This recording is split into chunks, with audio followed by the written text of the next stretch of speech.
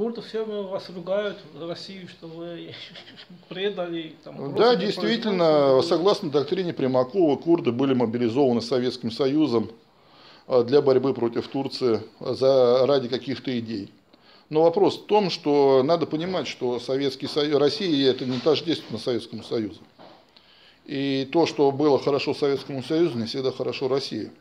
А Надо развиваться и менять отношения в динамично изменяющемся, точнее свою позицию в динамично изменяющемся мире.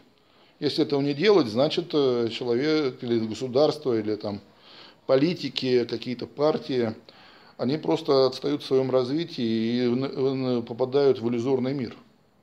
В этом смысле курды сами виноваты. Чего им э, э, обвинять Российскую Федерацию в предательстве, когда они заключали союз с Советским Союзом? Или коалицию заключали антитурецкую с Советским Союзом. Нет такой страны, как Со- Советский Союз. Есть Российская Федерация.